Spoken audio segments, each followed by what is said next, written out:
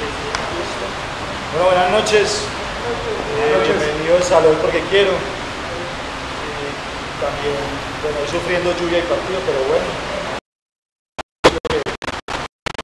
Eh, antes de empezar entonces, invitarlo la próxima semana. bueno, igual a chicanear un poquito porque para mí es intensivo. Desde el día martes viene Beatriz Uribe, que es profesora de la Universidad de con el cuerpo que nos inventamos. El día miércoles voy a lo de porque quiero Manizales. ¿Sí o qué? Sí, porque como lo de lo replicaron en Manizales, entonces voy a ir a hablar allá de lo de porque quiero. Y el día jueves hablo acá con, un nuevo proyecto que se llama El Sabor del Saber. Es el jueves 2004. Y bueno, también recordar lo de el aporte voluntario, pues un tarrito, los otros son calcas. Eh, y bueno, tenemos aquí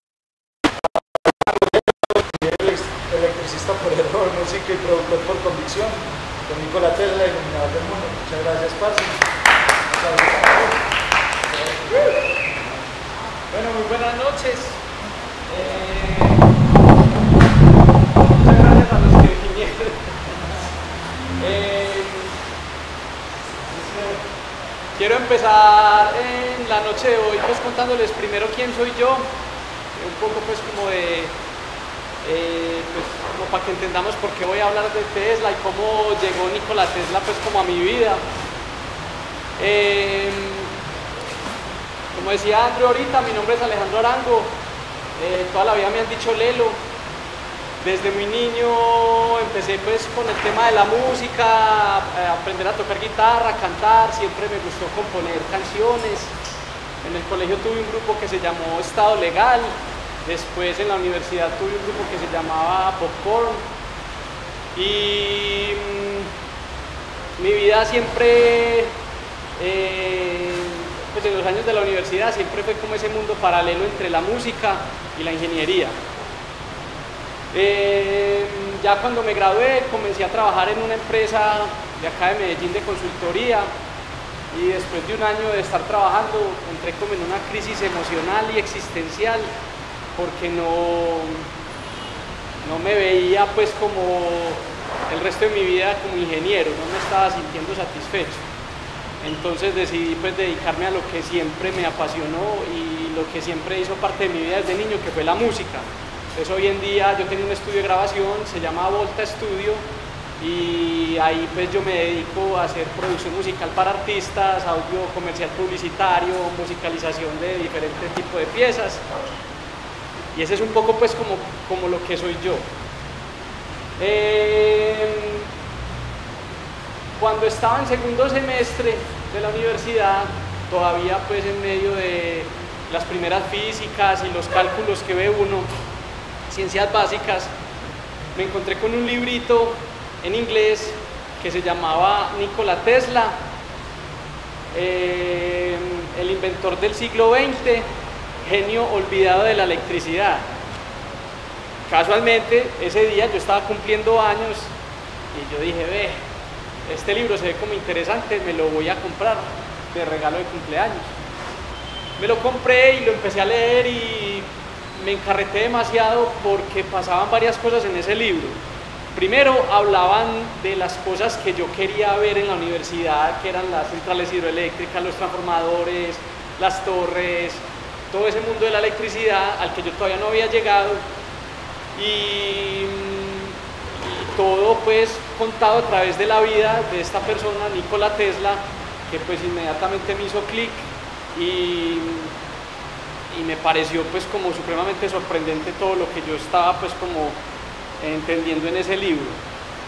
Entonces de ahí empezó pues como ese, ¿cómo lo puede llamar uno? Como ese capítulo de fan de un inventor que nunca, pues, uno, es fan de un músico, de un deportista, pero pues como decir que uno es fan de un inventor es un poco pues como extraño, me parece a mí. Eh, entonces ya pues me di a la tarea de consultar más la, la bibliografía de Nikola Tesla y me encontré pues con una vida maravillosa un legado sorprendente, eh, que la idea pues es que compartamos eso hoy. Entonces, Nikola Tesla, esta es una imagen de Nikola Tesla cuando tenía 23 años. Eh, una persona muy elegante, muy de la época. Ah, bueno, eh, nació en 1856. Entonces también, también es importante que nos ubiquemos como en esa época para entender un poco el impacto de las ideas de Tesla. Eh, esta es de pronto la imagen más conocida de Tesla, está en portadas de muchos libros, cuando lo mencionan en esos programas de alienígenas ancestrales y todas esas cosas, generalmente pues esta es como la, la imagen que muestran de Tesla. Eh, lo que nadie sabe es que Tesla resucitó el gato. Mi gato se llama Tesla. Eh, esta es una imagen de Tesla en su laboratorio. Y pues digamos que es una imagen muy curiosa porque pues he leído que es un montaje, en otras partes dicen que no, pero ya sea o no sea un montaje, si esto pasó en la vida real, uno conociendo a Tesla en realidad no tendría nada de extraño que le estuviera en medio pues como de ese montón de, rayos y chispas pues que él solía eh, generar en su laboratorio. Y este es Nikola Tesla pues como en los últimos años de su vida, un viejito pues como muy común y corriente, eh, digamos que muere eh, pues sanamente, pero en unas condiciones pues lamentables de soledad y de olvido. Ahorita pues vamos a hablar un poco más de eso. Eh, yo quisiera empezar mencionando unas frases muy icónicas de Tesla para que nos ubiquemos y entendamos eh, pues, la forma como él veía el mundo en su época y empecemos a sacar unas conclusiones de, de la singularidad de este personaje. Entonces, la primera frase que seleccioné dice así, el desarrollo del hombre depende fundamentalmente de la invención. Es el producto más importante de su cerebro creativo. Su objetivo final es el dominio completo de la mente sobre el mundo material y el aprovechamiento de las fuerzas de la naturaleza a favor de las necesidades humanas. Eh, a mí me parece pues que es una frase muy importante y para recalcar porque me parece pues ya a nivel personal que a la velocidad a la que vivimos eh, hacemos poco uso de nuestro cerebro, me parece pues, tenemos demasiadas distracciones hoy en día y lo que sugiere Tesla acá es que el desarrollo de nuestra humanidad, por decirlo así, es de hacer, hacer uso creativo de nuestro cerebro. Eh, la segunda frase que seleccioné, citada pues de 1924, dice, un instrumento de poco costo y no más grande que un reloj permitirá a su portador escuchar en cualquier parte, ya sea en el mar o en la tierra, música, canciones o un discurso de un líder político dictado en cualquier otro sitio distante. Del mismo modo, cualquier dibujo o impresión podrá ser transferida de un lugar a otro. Eh, pues a mí, la verdad, me da, se me pone la piel de gallina un poquito, pues como al leer eso, porque pues, digamos que cuando yo estaba en los años 90, eh, mediados de los 90, que fue cuando tuve la posibilidad de usar internet, creo pues que la mayoría de nosotros también, eh, pues ese concepto de, comunicarnos y de tener acceso a la información, pues eso a mí me voló la cabeza, ¿cierto? El solo hecho de tener contacto con un computador y creer, pues en ese momento yo ingenuamente pensaba que yo le podía preguntar cualquier cosa al computador y me le iba a responder. Eh, pues yo creo que Tesla en 1924 ya había pasado por esa idea hacía mucho. Eh, creo que en ese entonces ya hablaba de la cotidianidad que vivimos hoy. Eh, y esta última frase eh, de 1934 que dice así, cuando la tecnología inalámbrica sea aplicada correctamente, toda la Tierra se convertirá en un gran cerebro, donde todas las cosas serán, serán partículas de un todo real y ritmo. Seremos capaces de comunicarnos con otros instantáneamente, independientemente de la distancia. No solo eso, pero a través de la televisión y la telefonía seremos capaces de vernos y escucharnos tan perfectamente como si estuviéramos frente a frente. Así la distancia sea miles de kilómetros y los equipos para lograr esto serán supremamente sencillos comparados con los teléfonos actuales. Las personas lo podrán llevar en sus bolsillos. Pues creo pues que pues es, es verdaderamente increíble pensar que alguien eh, tuviera como tan, tanta claridad sobre el, rumbo que iba a tomar como el desarrollo de la tecnología puntualmente pues la, tecnología inalámbrica. Eh, Tesla fue, pues fue en su época encasillado como brujo, como una persona demasiado extraña porque era incomprendido totalmente por sus inventos, que ahorita vamos a hablar de eso, por sus frases, pues si nosotros estamos gozando de eso apenas hace unos pocos años, eh, pues cómo será una persona hablando de eso cuando ni siquiera existe. Entonces, eh, como para que nos ubiquemos un poco en, en pues como en ese momento particular, pues como en el que estaba viviendo Tesla. Pues eso pues van a ser casi 100 años. Bueno, entonces empecemos un poco la historia de Tesla y de su vida. Igual, si de pronto alguno de ustedes conoce de la vida de Tesla y quiere hacer algún aporte, pues yo no me las sé todas. La idea es que entre todos eh, compartamos sobre este personaje. Nació en 1856 en Croacia, en un pueblo que se llama Smiljan, no sé pues cómo se pronuncia. Su padre era un sacerdote ortodoxo y su madre era una ama de casa. Eh, esto es un dato particular porque su papá siempre quiso que él fuera también un sacerdote y que siguiera pues como las costumbres religiosas de él.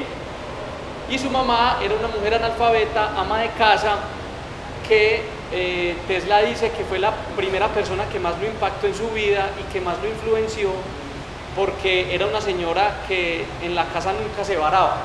Cualquier problema que se encontraba en la casa de cualquier tipo, ella lo solucionaba inventándose alguna cosa. Pues haciendo eh, un recursivo de las cosas que tenía a su alcance, se inventaba cosas y solucionaba los problemas de la casa.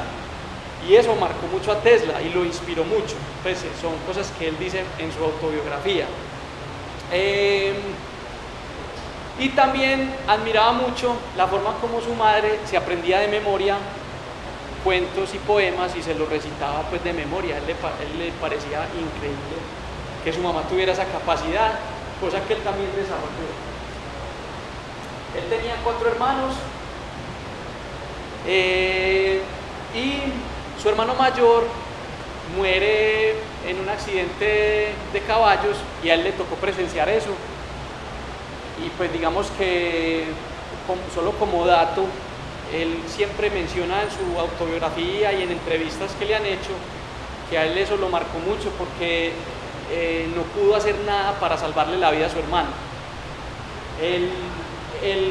Ya vamos a ver, más adelante sufrió una enfermedad, pero y él incluso la relaciona con la depresión que sufrió eh, debido a la muerte de su hermano, pero eso enseguida. En el colegio demostró un talento sobresaliente con las matemáticas al punto que los profesores eh, no le creían que él era el que estaba resolviendo los problemas o el que hacía los exámenes y siempre le, le, hacían repetir todo porque pensaban que él estaba pasteleando pues o haciendo trampa. pero eh, como vamos a ver enseguida, eh, Tesla desarrolló una capacidad de tener memoria fotográfica y él decía que él resolvía las ecuaciones, hacía los desarrollos de sus inventos en su mente y muy pocas veces necesitaba eh, dibujar para cerciorarse pues, de que sí estaba en lo correcto. Eh, y digamos que, digamos que esos dotes los empezó a, mostrar desde muy niño en las matemáticas. Eh, cuando niño, él sufrió un cólera que lo marcó por el resto de su vida, porque él dice que ha sido de las experiencias eh, que más lo marcaron en el sentido de que él decía que podía escuchar los pasos de los insectos, de las cucarachas, de los gusanos, que sus sentidos se eh, potencializaron a un punto que él sentía pánico y pues una serie pues como de, sensaciones extrañas que incluso muchas personas se han dado pues como a la tarea de analizar eh, todas las cosas que se han dicho alrededor de esa enfermedad. Y al parecer pues Tesla sufrió de un desorden mental toda su vida, pues no recuerdo el nombre, pero psicológicamente, al parecer, pues él tenía una condición mental particular. Em, otra particularidad de él cuando niño era que él, descansaba muy poco. Em, él dice que él le gustaba quedarse despierto toda la noche hasta el amanecer, leyendo, entonces, pues su padre, en la rigurosidad, pues como de las costumbres de la época, lo hacía dormir muy temprano, pero él con trapos tapaba todas las luces que se podían escapar desde su cuarto, debajo de la puerta, las ventanas, en fin, y él prendía las velas y se ponía a leer hasta, hasta el amanecer. Eh, se dice pues que eso también tuvo mucho que ver con ese desorden mental pues, con el que él sufrió y el poco descanso que él que él practicaba. Eh, ya cuando entró en, la universidad, en este punto, he encontrado como muchas versiones. Se dice que, pues, que estudió solo dos semestres, otros, eh, otras fuentes dicen que estudió eh, pues como la carrera que se hacía en ese entonces en cuatro años, la hizo solo en tres. Pero lo único que en realidad es cierto es que él nunca se graduó de la universidad. Pues no, nunca tuvo un diploma que lo certificaba como ingeniero electricista graduado. Y eso fue debido a que em, cuando él estaba en la universidad tuvo un conflicto con un profesor que em, cuando estaban viendo los motores, el tema de los motores y los generadores, em, el profesor empezó a explicar que el generador tenía, pues recibía, pues no sé si aquí todos, pues la idea mía es como poner esto en los términos más fáciles de entender. La electricidad en su naturaleza es alterna, ahorita les explico un poco de eso. Entonces los motores cuando reciben esa electricidad generalmente pasaban por un alternador que rectificaba esa señal y salía la corriente directa. Entonces Tesla dijo, le dijo a su profesor que él creía que era posible quitar ese alternador y aprovechar la electricidad de su forma, en, su, en su forma natural, alterna. Y el profesor se burló de él en el salón, lo hizo quedar en ridículo y él se obsesionó por el resto de su vida en demostrarle a ese profesor que sí era posible diseñar un generador de corriente alterna. Entonces, eh, pues digamos que esa obsesión eh, dio frutos. Ahorita vamos a ver pues. Eh, como les mencionaba, se dice que tenía memoria fotográfica, que era capaz de memorizar cuentos, poemas, libros, fórmulas, todo tipo de cosas. pues para mí, que soy un cristiano normal, ese, ese talento me parece increíble. Pues. Eh, luego de sus años en la universidad, entró a la universidad, eh, perdón, en Budapest a trabajar en una oficina de telégrafos y la persona que era su jefe eh, identificó las capacidades que Tesla tenía con la electricidad y pues como lo teso que él era.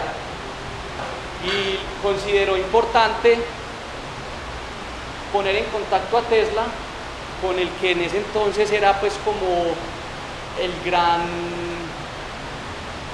mm, digámoslo, el gran maestro o el gran industrial de la electricidad de ese entonces, que era Thomas Alva Edison. Entonces el que era jefe de Tesla en ese entonces escribió una carta que pues es muy famosa, donde decía, querido Edison, en mi vida he conocido dos personas muy brillantes. Una eres tú y la otra es este joven Nikola Tesla. Te lo recomiendo para que trabajes con él. Entonces Tesla se fue muy esperanzado, muy ilusionado para los Estados Unidos con muy pocos dólares en su bolsillo, una mudita de ropa, cogió un barco y esa cartica pues que su jefe le escribió de recomendación y llegó a los Estados Unidos con el sueño y la obsesión que tenía desde sus años de universidad de que era posible hacer un generador de corriente alterna y él veía la posibilidad de materializar esa idea al estar al lado de una persona muy tesa que era Thomas Alva Edison. Entonces, ah bueno, hagamos un paréntesis. Para los que de pronto no saben la diferencia entre corriente alterna y corriente directa. La corriente directa es el tipo de corriente que encontramos en una pila, en una batería. Eh, cuando nos dicen 9 voltios, 12 voltios, 1,5 voltios, pues, se representa como la línea recta que está aquí a mano izquierda, eh, una línea constante, un voltaje constante.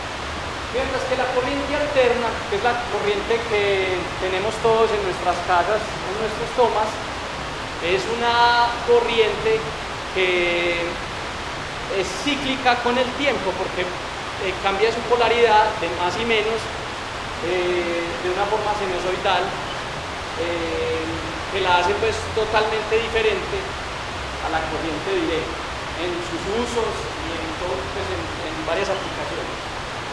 Entonces eso era pues como un pequeño paréntesis. Eh, hablemos de algunos antecedentes de ese momento en el que Tesla se dirigía pues para los Estados Unidos.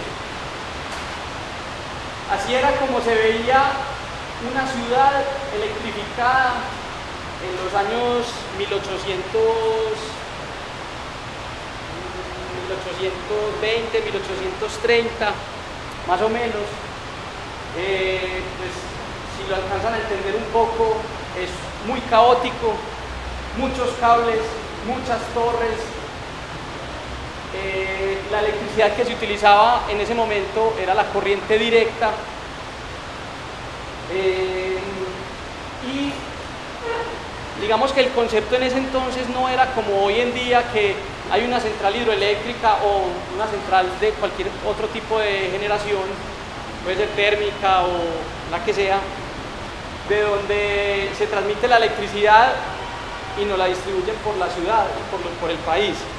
En ese entonces habían máquinas generadoras de vapor en algunas casas que tenían que estar muy cerca una tras otra para poder eh, llevar la electricidad de un punto a otro. Entonces era, era muy engorroso, pero era lo que había en ese momento. Pues. Eh, no era, no era, no era como viable pensar en otra cosa. esto fue lo que Edison desarrolló y esto era lo que se utilizaba en ese momento. Entonces llega Tesla a los Estados Unidos con este sueño y esta expectativa de poder crear y materializar su idea del generador de corriente alterna en 1884.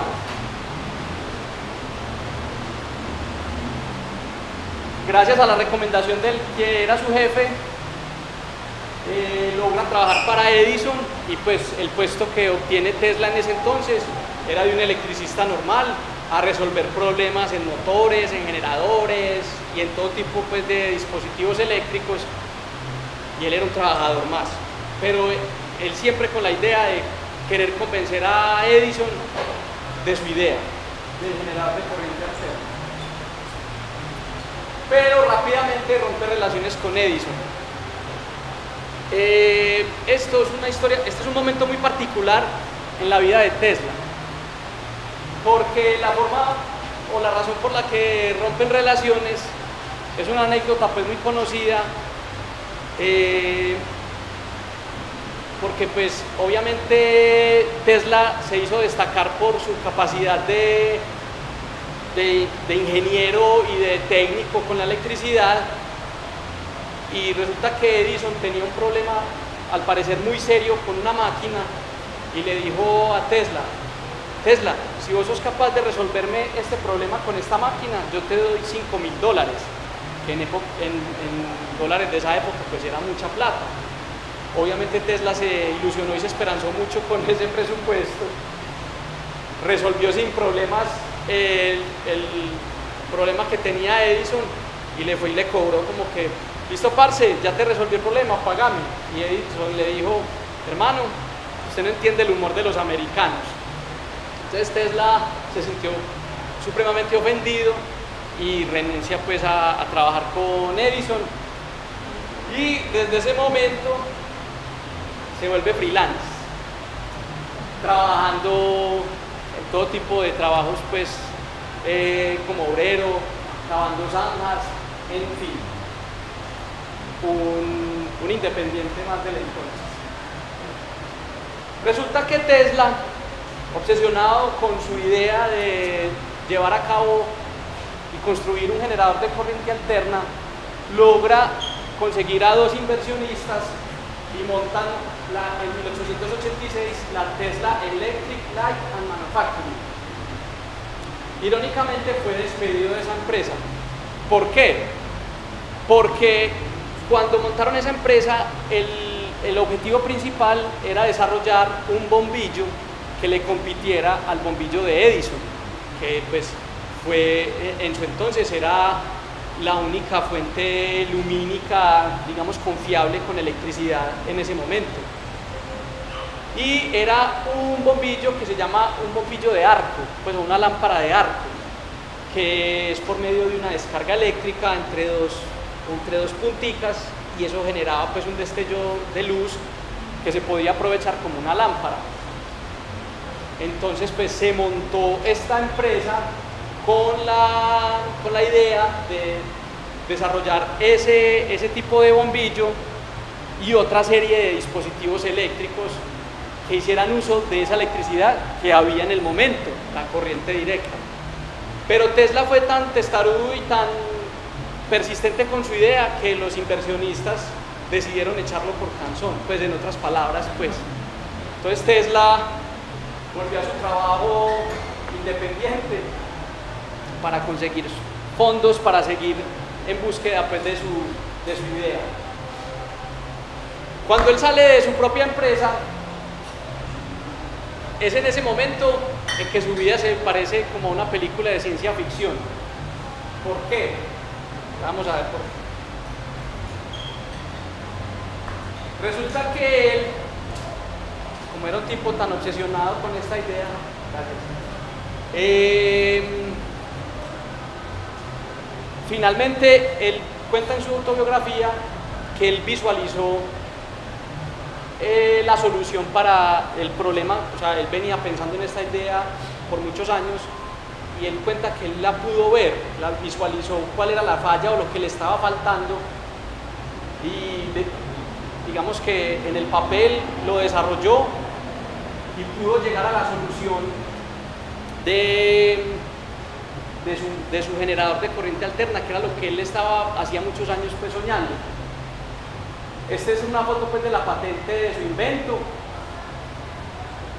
y eh, Resulta que él necesitaba conseguir inversionistas para poder construirlo pues, a, una escala y darle uso práctico. Entonces él se puso a pensar, ¿cómo hago para mostrarle a la gente, para que me crean y que me entiendan que esto tiene un uso potencial? Entonces él hizo lo que en ese momento se llamó eh, se me escapa el nombre.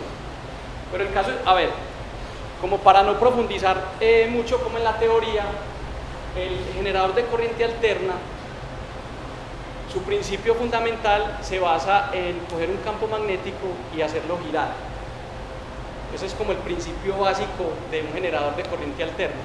Entonces él lo que hizo fue algo así, pues que una persona eh, muy juiciosa se dio la tarea de hacerlo y en internet pues hay muchos videos.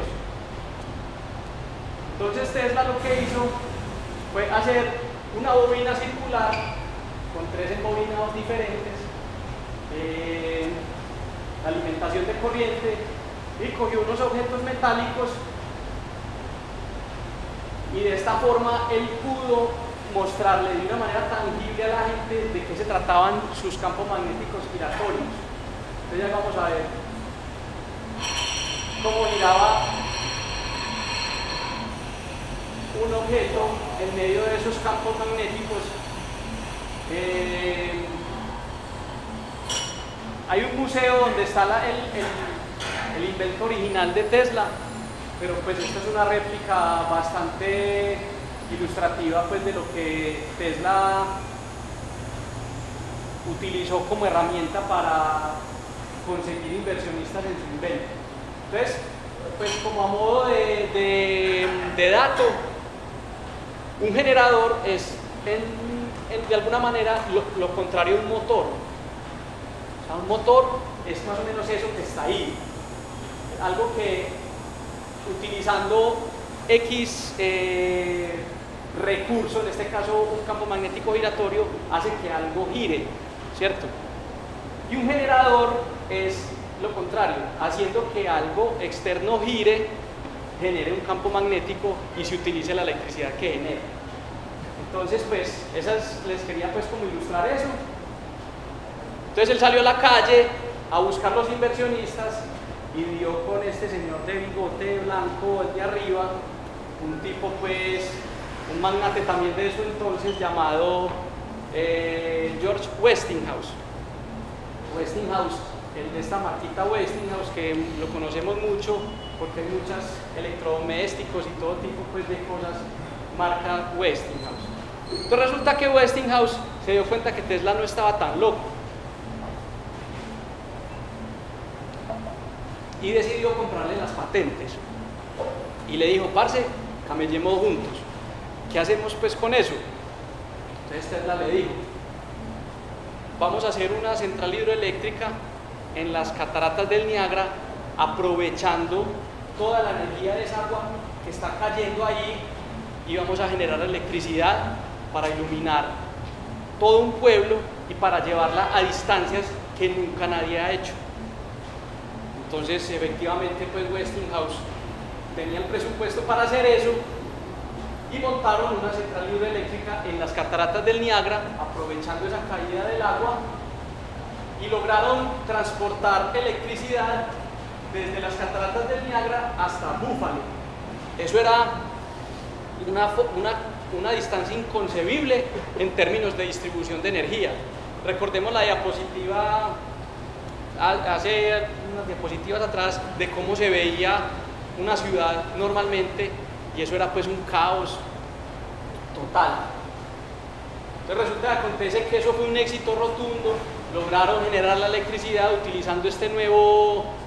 Pues no pero además que tenía ese problema particular, pues no lo podían llevar.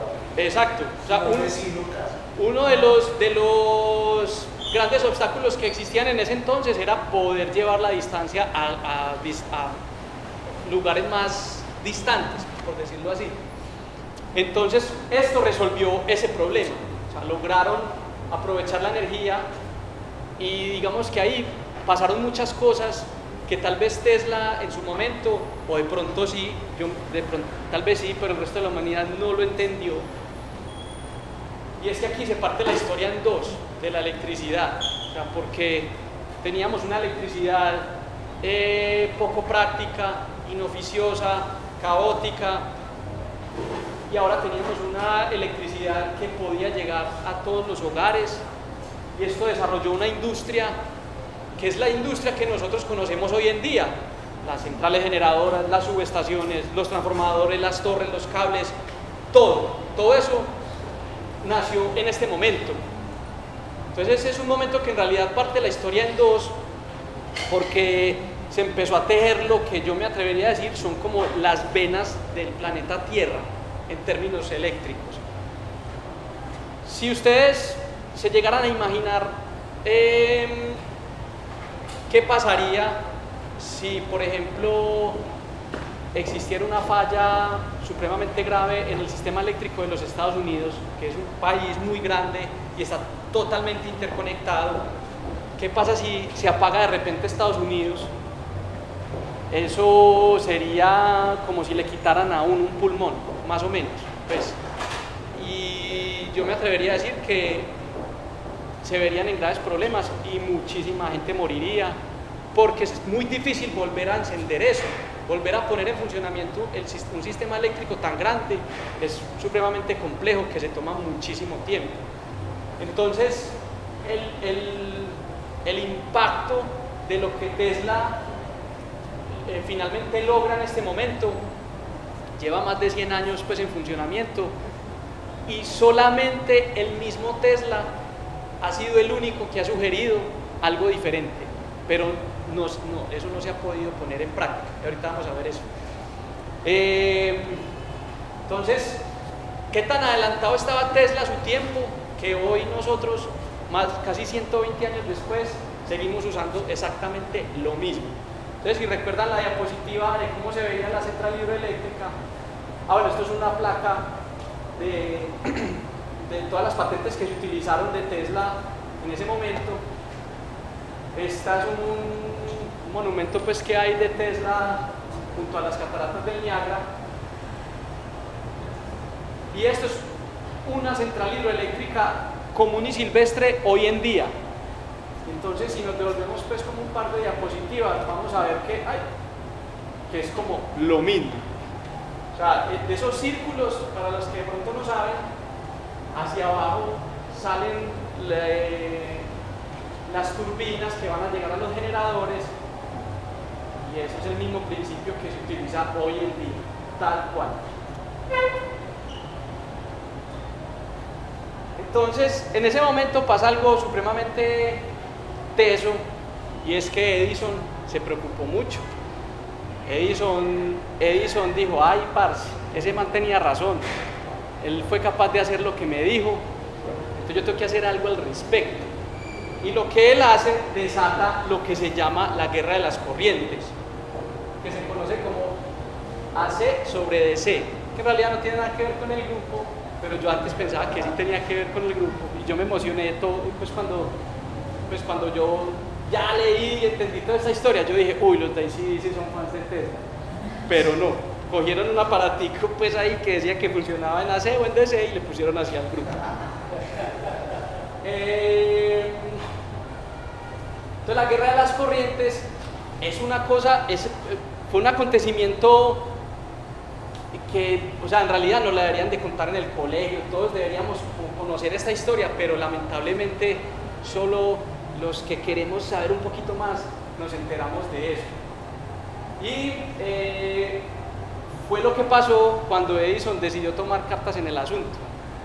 Y dijo, bueno, este más se me metió al chuzo, esto está como complejo, entonces me voy a inventar con la corriente alterna de Tesla la manera de, electrocutar a las personas y electrocutar animales y voy a demostrar lo malo que es esa electricidad. Entonces pues salía por los pueblos de Estados Unidos a electrocutar perros, gatos, caballos e incluso elefantes. Llegó a electrocutar Edison eh, gritando a los cuatro vientos que la corriente alterna de Nikola Tesla era supremamente mala y dañina, que eso no se podía usar, que eso no, que no, que no, que no le pararon bolas a eso. Tanto pues que se llegó al punto de la silla eléctrica, muy polémica pues en la historia de nuestra humanidad. Este es un libro, la portada de un libro eh, sobre la historia de la silla eléctrica y Edison pues está ahí sentado en su invento, pero apagado.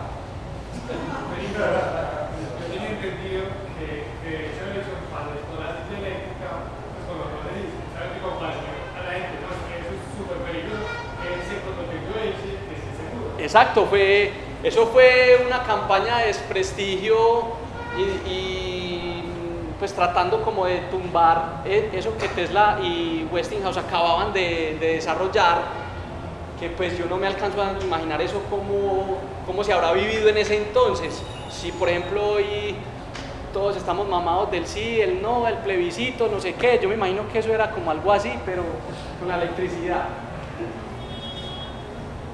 Eh, pero entonces Tesla tampoco se quedó mal ni cruzado. Él también salía a las ferias, a las ciudades, a los pueblos, a mostrar inventos y formas de hacer uso de la electricidad, de la corriente alterna, eh, sin que hicieran daño. Entonces eh, Tesla es famoso porque él era capaz de pasar altos niveles de corriente por su cuerpo sin que le pasara nada. Él cogía un bombillo él- y, y se prendía, en su laboratorio se ponían bombillos en el suelo y se prendían. Eh, y, él demostraba de una manera sencilla que la corriente alterna no era dañina si era usada correctamente, porque obviamente Edison se enfocó en mostrar lo malo. Bueno, digamos que lo que terminó con este capítulo de, de la Guerra de las Corrientes fue la Feria Mundial de Chicago.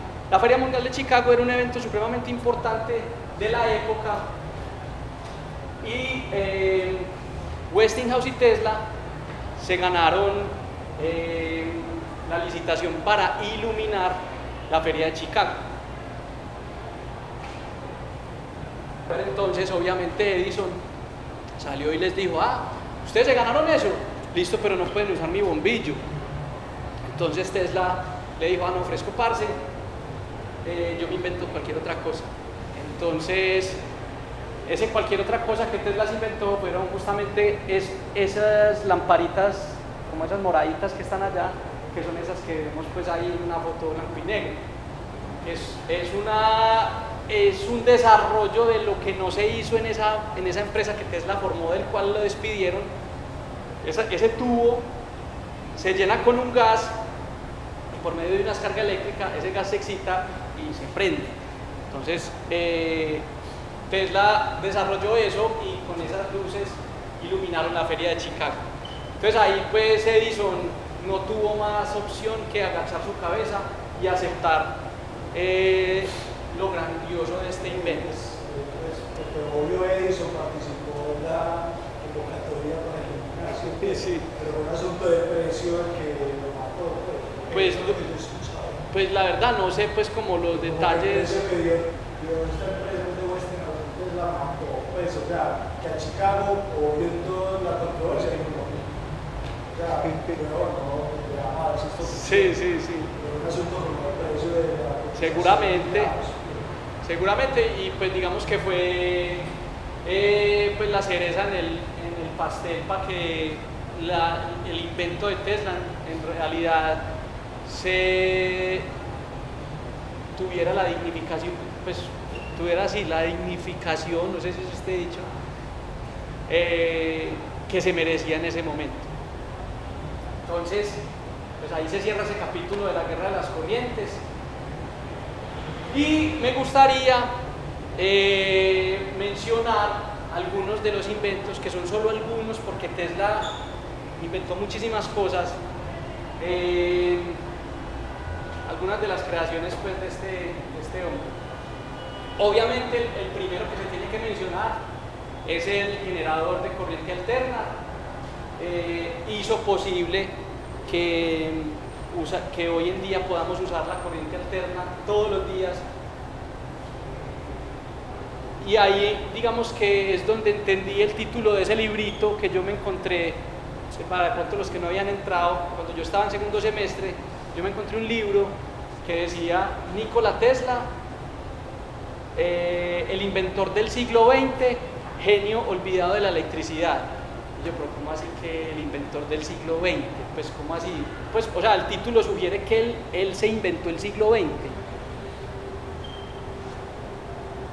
Y si uno se pone a analizar, en realidad el estilo de vida que nosotros llevamos hoy en día eh, recae totalmente en el invento de Tesla y, en la forma como nosotros podemos disfrutar de la electricidad.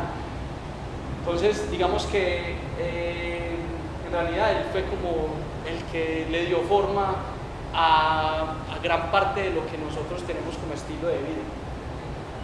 Bueno, la bobina de Tesla, seguramente muchos han visto, han visto la bobina de Tesla en televisión o en internet, porque mucha gente comparte videos de la bobina de Tesla, pero en realidad la bobina de Tesla no tiene ningún uso práctico, a excepción de uno que se los voy a mostrar, eh, pero se usa más que todo como en las universidades y en los colegios para mostrar pues como eh, fenómenos de electricidad.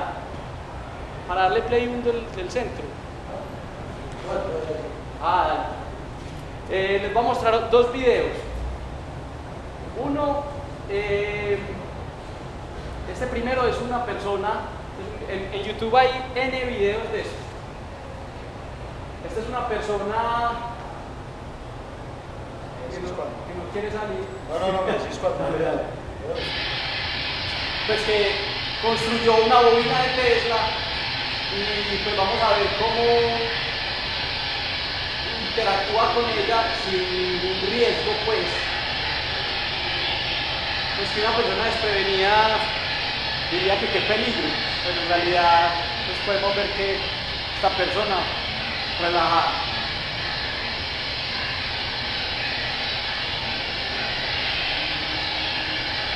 y digamos que el único uso práctico que yo le he visto es este. Eh, un músico conectó una bobina de Tesla a un teclado, no sé cómo lo hizo, pero ya vamos a ver pues como lo que logra con esto.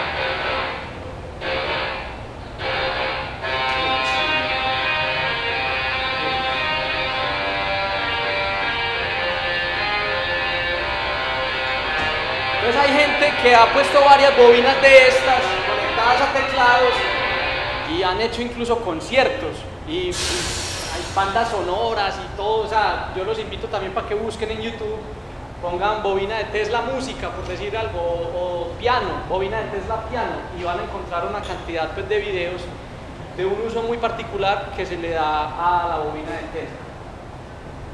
Otro invento de Tesla, que él en, su momento no sabía qué era lo que estaba obteniendo, pero fue eh, el primer paso para tener los rayos X. Eh, Tesla haciendo pruebas con tubos al vacío y rayos catódicos obtenía este tipo de imágenes y él los llamaba shadow graphs, pues o sombrografía, no sé cómo se podría traducir eso. Él no entendía qué era eso o qué podía usar con eso, pero eh, sentó las bases para que más adelante se pudiera entender eh, esto como los rayos X y a tener un uso aplicativo en la medicina. Pues sí, claramente podemos ver, eso es un zapato, se ven los clavos de cómo está pegado el tacón de la suela, se ve en los huesos del pie, en fin. Pero Tesla en su momento no lo entendió pero a Tesla se le atribuye el invento de los X. La radio.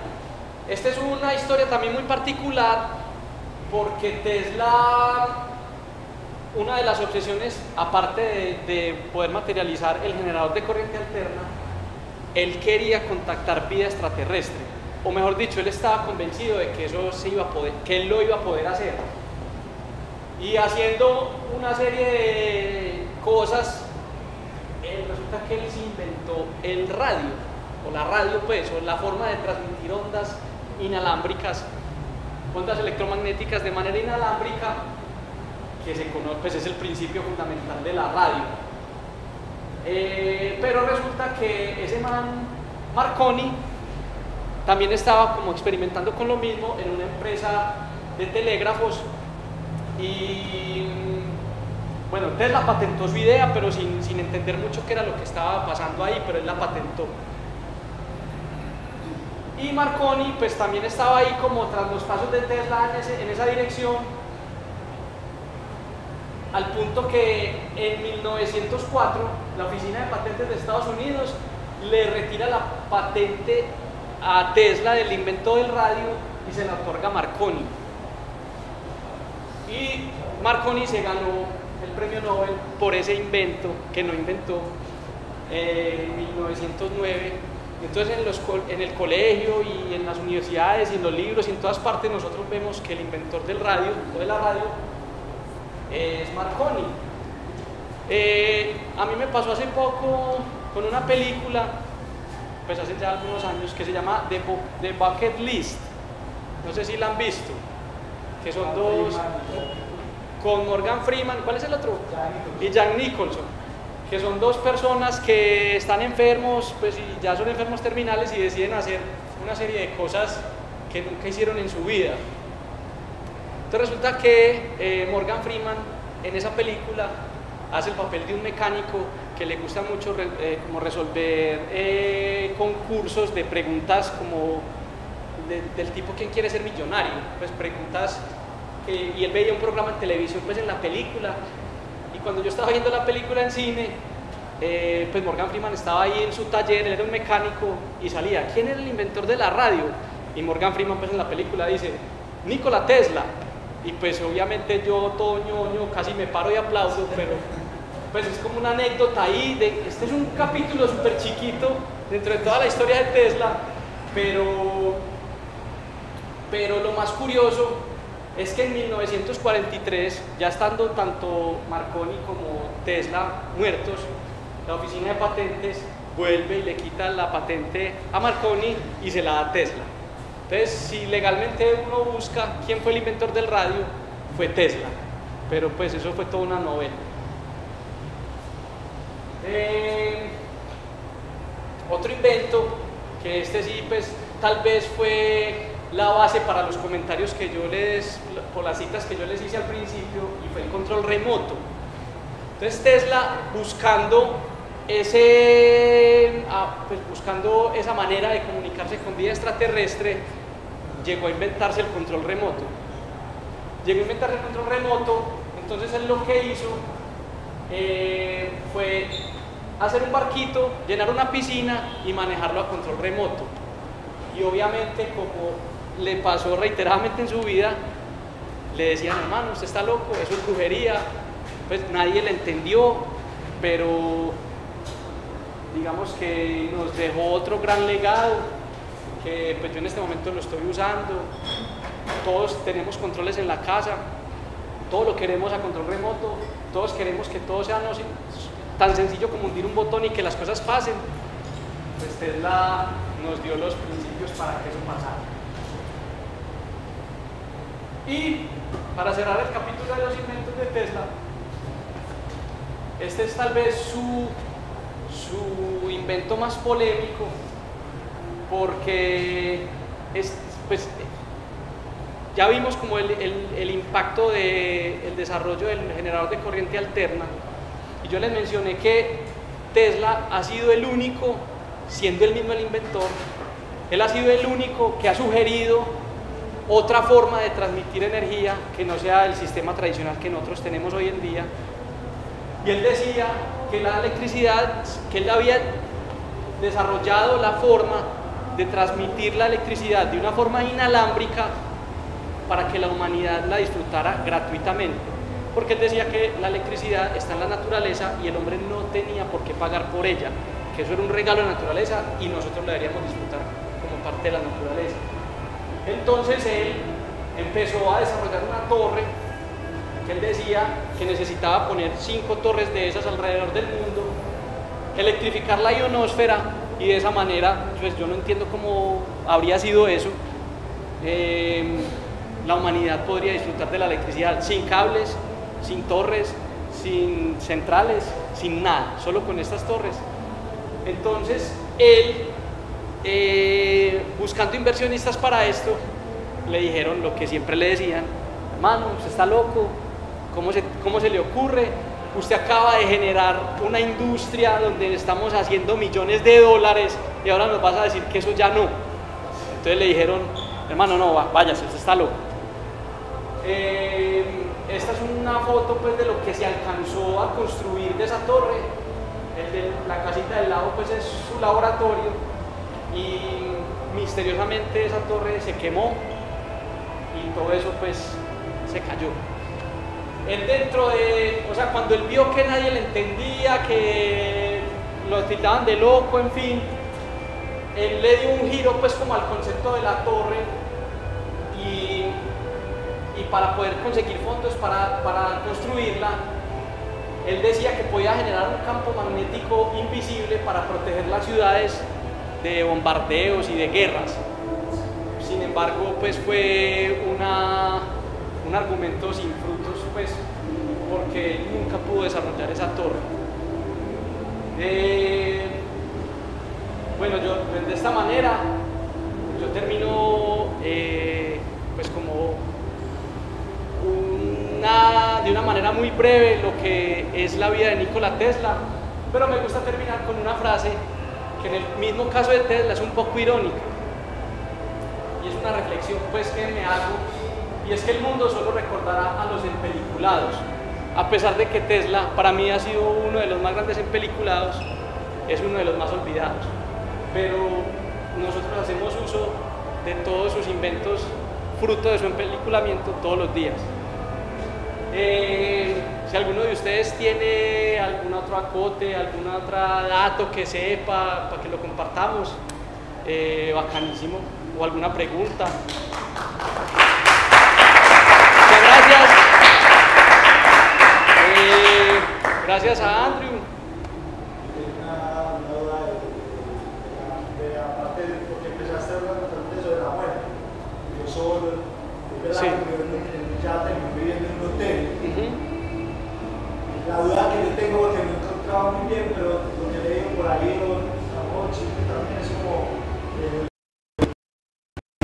donde sí tenía. No tenía que abrir la puerta tres veces. Ah, bueno, Tesla era un tipo que tenía un montón de... eh, Ese tipo de llamado, pero. pero ¿cómo es que le dicen a eso? Eh, Era obsesivo compulsivo. Eso, tra- trastorno obsesivo compulsivo.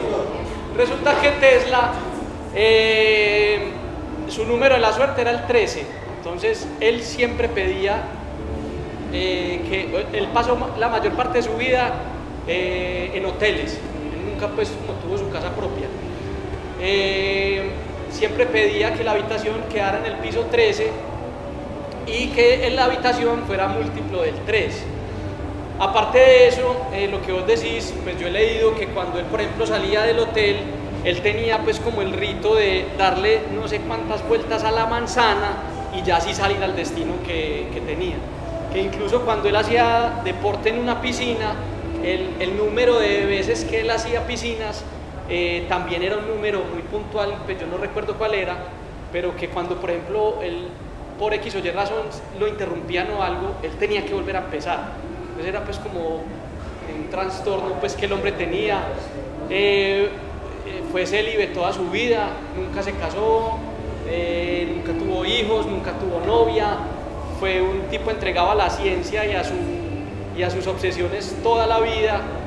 Eh, y pues de verdad que es una vida bastante, pues, digamos, llena de misterios y, y de paradigmas porque pues, pues, digamos que hoy en día nos lo venden como un tipo ahí todo extraño y cuando en, en televisión yo me he encontrado documentales y cosas, pues a mí no me gusta la forma como lo encasillan porque ya lo, lo ponen como, como un extraterrestre, como algo así, pero pues a mí en realidad no, pues yo no lo veo así, para mí él era un tipo con una mente supremamente adelantada a su época me atrevería a decir que adelantado todavía nuestro tiempo. Eh, totalmente incomprendido. Entonces, pues digamos que la invitación es para que busquen pues como información de Tesla en las redes, en internet, que hay muchas cosas eh, muy bacanas pues sobre su vida que pues no se mencionaron acá. Y darles nuevamente las gracias por haber venido a pesar de la lluvia, del fútbol. Y bueno, no, gracias a Andrew por el espacio y nos vemos.